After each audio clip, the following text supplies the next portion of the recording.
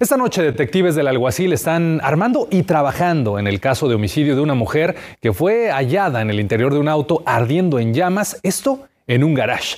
Mi compañero Osvaldo Borraes nos tiene lo más reciente de esta historia. Osvaldo, cuéntanos.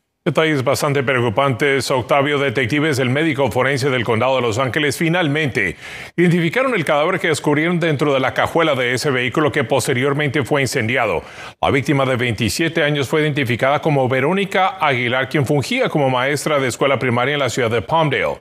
Los bomberos del condado de Los Ángeles acudieron a la residencia en Quartz Hill sobre la cuadra 41400 de la calle 38 oeste a eso de las 8 y 20 de la mañana. Al llegar, los bomberos notaron el vehículo completamente envuelto en llamas. Una vez lograron extinguir las llamas, descubrieron el cuerpo en la cajuela. Los vecinos declararon que habían escuchado gritos de una mujer y luego vino la explosión.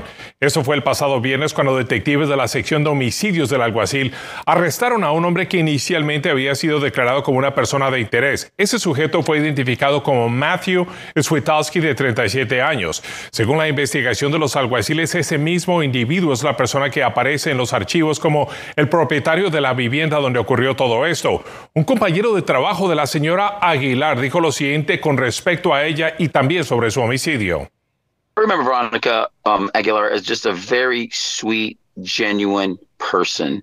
Um, I never saw her without smiling, and she was a great teacher. I know her students loved her. El señor Matthew Swetowski supuestamente había sido acusado de violación y conducta sexual inapropiada. En el mes de junio había pagado una fianza de 600 mil dólares y se encontraba en libertad condicional.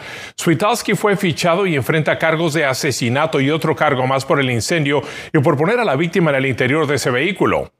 Los detectives de homicidios del alguacil del condado de Los Ángeles han revelado las piezas o no las han revelado todavía de lo que tienen en este caso y que declaró el sospechoso al momento de ser esposado.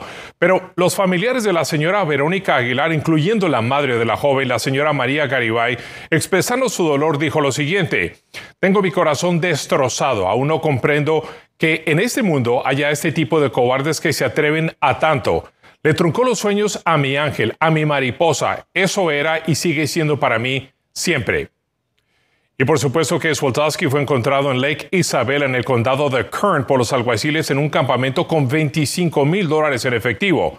Ahora está en la cárcel del condado de Los Ángeles y se le impuso una fianza de 10 millones de dólares inicialmente y luego el juez le quitó el derecho por completo de tener una fianza. Swoltowski se ha dicho se declaró no por ahora todavía pendiente otra audiencia con respecto a si es culpable o no.